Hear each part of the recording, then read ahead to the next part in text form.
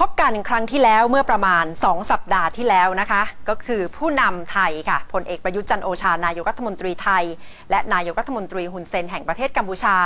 ครั้งนี้จะพบกันวันพรุ่งนี้นะคะ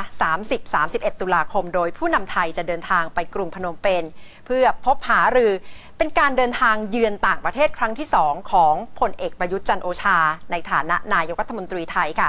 พบกันครั้งที่แล้วนะคะก็คือวันที่ 16 ตุลาคม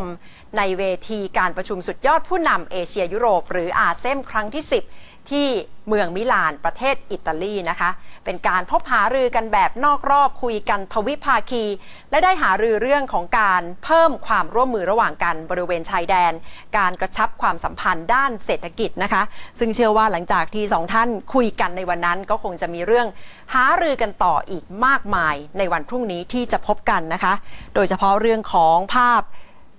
แรงงานข้ามชาติ หรือว่าแรงงานกัมพูชาที่เข้ามาทำงานในประเทศไทย คุณผู้ชมก็คงจะยังจำกันได้นะคะ หลังจากที่คสชเข้ามาทำงานใหม่ๆนะคะ ก็เริ่มมีแรงงานกัมพูชาที่กังวลว่าจะถูกกวาดล้างหลังไหลกันเดินทางกลับประเทศกัมพูชากันอย่างรวดเร็วนะคะ จนถึงขณะนี้มีแรงงานกัมพูชาที่ทำงานในไทยประมาณ 6 0 0 0 0 0 คน และกำลังอยู่ระหว่างการตรวจสอบสัญชาติค่ะ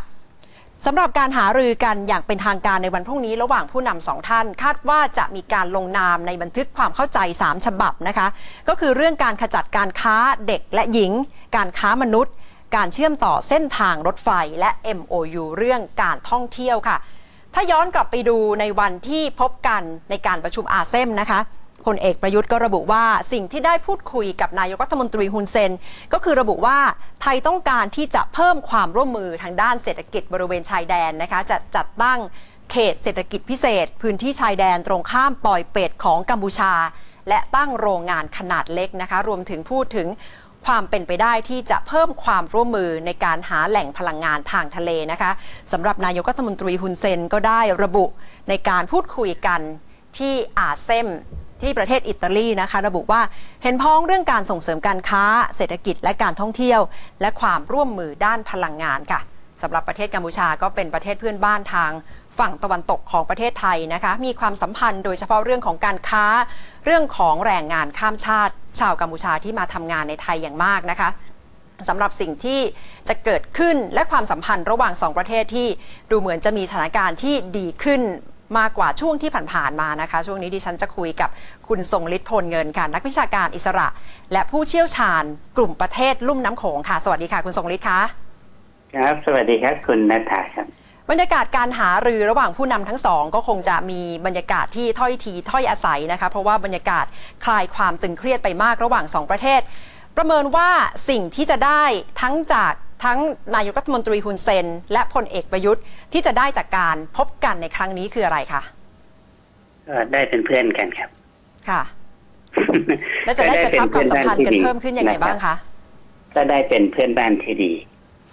เพราะว่าในอดีตที่ผ่านมาเราเป็นเพื่อนบ้านที่ไม่ค่อยจะดีนักนะครับ ก็คือเราจะอยู่ในโทนของต่างฝ่าย ต่างมุ่งเน้นที่ผลประโยชน์ทางการเมืองภายใน เป็นหลัก แต่พอมาถึงจุดหนึ่งครับ คุณนัทธาเวลาเจอปัญหาเจออะไรสารพัดสารเพแล้วเนี่ย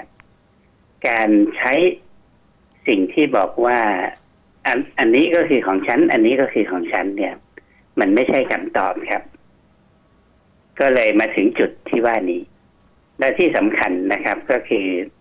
ถ้าเรามอง ถ้ามีการลงนามในเรื่องส่งเสริมการท่องเที่ยวจริง ๆ คนที่จะได้รับประโยชน์ก็คือประชาชนตาดำๆของทั้งสองประเทศ MOU จำฉบับที่ว่านี้คุณทรงฤทธิ์ประเมินว่าน่าจะเกี่ยวข้องกับการพัฒนาพื้นที่ปราสาทพระวิหารร่วมกันไหมคะเอ่อจริง ๆ มันก็น่าจะเริ่มต้นอย่างนั้นตั้งแต่แรกอยู่แล้วนะครับ เพียงแต่ว่ามันมีอยู่ช่วงหนึ่ง ถ้าเราจำได้ก็คือปี 2008 เนี่ย มันเป็นการเลือกตั้งครั้งก่อนหน้านี้ในกัมพูชา แล้วก็นักการเมืองในกัมพูชาพูดตรงๆก็คือฮุนเซนก็ต้องการที่จะใช้ประเด็นนี้ไปหาเสียงทางการเมือง แล้วก็ใช้ประเด็นของคำว่าชาตินิยมเข้ามาเกี่ยวข้องในขณะเดียวกันทางการเมืองบ้านเราก็ไม่สงบ ก็จุดประเด็นนี้ขึ้นมาเหมือนกัน ซึ่งจริง ๆ แล้วเราก็พลาดกันทั้งสองฝ่ายนะครับ คนเดือดร้อนก็คือประชาชนที่อยู่ตามแนวชายแดนอ่าอย่างอย่างบ้านภูมิสลอนเนี่ยนะครับ ภูมิภูมิสลอนก็คือหมู่บ้านที่เต็มไปด้วยต้นสนเนี่ยนะครับเขาเคยอยู่ดีกินดีนะครับ พอสงครามเกิดขึ้น มีการยิงปืนใหญ่กันเกิดขึ้น ทั้งสองฝ่ายก็ไม่มีใครได้ครับ คุณนัฐาครับค่ะเพราะฉะนั้นถ้ามองในแง่ของ การเริ่มต้นใหม่ แล้วก็ไปอย่างถูกทิศถูกทาง ก็ถือว่าเป็นสิ่งที่ดีครับ การเริ่มต้นใหม่ที่คุณทรงฤทธิ์ประเมินหมายถึงว่าไม่ควรจะคุยกันเรื่องปักปันเขตแดนอย่างนั้นหรือเปล่าคะ แล้วควรจะหารือว่าจะพัฒนาพื้นที่โดยรอบปราสาทพระวิหารอย่างไรมากกว่า ที่ปักตันเขตแดนมันต้องคุยนะครับ เพียงแต่ว่า เราคุยแล้วเราจะทะเลาะกัน หรือเราคุยกันแล้วเพื่อที่จะหาทางออก อันนี้สำคัญ แต่ที่ผ่านมาเนี่ย คุยแล้วทะเลาะ ถ้าคุยแล้วทะเลาะก็ไม่ควรคุยนะครับ ก็ต้องไปหาจุดที่น่าจะทำผลประโยชน์ร่วมกันได้ อย่างตรงไหนที่มันเป็นจุดที่บอบบางพูดขึ้นมาปุ๊บก็ทะเลาะกันเลย อะไรอย่างนี้เป็นต้นนะครับ ก็ข้ามไปก่อน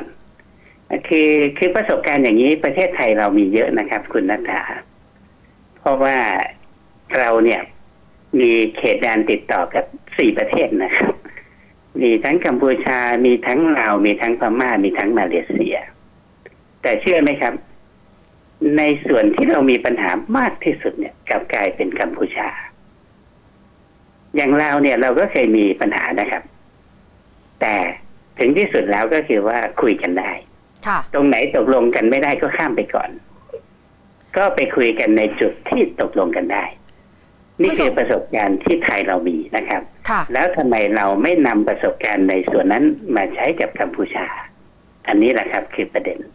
คุณทรงฤทธิ์ครับบรรยากาศการเมืองภายในของประเทศกัมพูชาเองก็น่าจับตามองไม่น้อยนะคะ เพราะว่าผู้นำฝ่ายค้านอย่างสำรังสีก็พยายามที่จะหยิบยกประเด็นเรื่องของการปักปันเขตแดน ปัญหาบริเวณชายแดน ครั้งนี้ถ้าผู้นำไทยไปเยือน ผู้นำฝ่ายค้านของกัมพูชา จะยกเรื่องนี้ขึ้นมาไหมคะ ก็สำนักสีเคยไปถ่ายรูปกับหลักหมายเขตแดนที่ทำตั้งแต่สมัยสยามฝรั่งเศส แล้วก็ระบุชัดเจนนะครับว่าหลักหมายนี้ได้ถูกเคลื่อนย้ายลึกเข้าไปในเขตกัมพูชา ถ้าเรามองเจตนาตรงนี้เราก็เห็นชัดเจนนะครับ ก็คือเขากำลังจะบอกว่า นี่แผ่นดินของฉัน อย่าลุกล้ำอย่าเอาเปรียบฉัน แต่ทีนี้ถ้าเรานะครับ ในฐานะที่เราเราก็เป็นคนที่รักพื้นแผ่นดินเหมือนกัน แต่ทุกอย่างครับ มันมันต้องอยู่บนบนกฎกติกาอยู่บนหลักฐาน อยู่บนสิ่งที่มันเป็นรูปธรรม อย่าไปขุดไอ้ที่มันเป็นนามธรรมนะครับ คือถ้าไม่ว่าจะเป็นไทย ไม่ว่าจะเป็นฮุนเซนไม่ว่าจะเป็นสำรังสีเขาก็ต้องยืนอยู่บนจุดนี้ทั้งสิ้น ถ้ายืนอยู่ในจุดอย่างนี้ด้วยกันแล้วเนี่ย ผมเชื่อครับว่าไม่ทะเลาะกันแน่นอน เพียงแต่ว่าทำอย่างไรเท่านั้นว่าจะหาข้อสรุปในพยานหลักฐานที่ต่างฝ่ายต่างอ้าง คือจริง ๆ แล้วเนี่ยมันมีรายละเอียดอีกเยอะแยะ ซึ่ง คนที่อยู่ตามชายแดนที่รับผิดชอบในเรื่องเขตแดนเนี่ยเขาก็รู้กันดีนะครับ คือแผนที่คนละฉบับมาตราส่วนคนละอย่างอะไรสารพัดพวกเนี้ยแต่ถ้าเราเปิดใจกว้างเข้าหากันอ้าวถ้าเริ่มจากการท่องเที่ยวอ้าวไม่ต้องไปพูดว่าไอ้นี่ของฉันอันนั้นของเธอนะครับอาหากินด้วยกันอ่าทำมาหากินด้วยกัน เปิดซะเขาพระวิหาร โดยไม่ต้องบอกว่าอันนี้ก็ของเขมรนะ อันนี้ของไทยนะ คือทุกคนอยู่ด้วยกันได้ ในอดีตเขาก็อยู่ด้วยกันได้ ตรงนี้แหละครับสำคัญที่สุดถ้าเปิดกว้างตรงนี้แล้วเนี่ย ผมว่าถ้าใครมีมิจฉาทิฏฐิก็คงดันทุลังไม่ไหวครับ คุณนาธาครับ ค่ะ เอาละค่ะ ขอบคุณมากค่ะ คุณทรงฤทธิ์คะครับยินดีครับค่ะ เป็นการประเมินความสัมพันธ์ระหว่าง 2 ประเทศนะคะ ซึ่งก็มีเรื่องที่คงจะต้องหารือกันมากมาย โดยเฉพาะการกระชับความสัมพันธ์ เรื่องของชายแดน เรื่องของพรมแดน และความร่วมมือทางเศรษฐกิจนะคะ ซึ่งพลเอกประยุทธ์จันโอชาก็ระบุแล้วว่า น่าจะเป็นการพูดคุยในสถานการณ์ที่ดีขึ้นอย่างมากนะคะ ระหว่างไทยและกัมพูชาค่ะ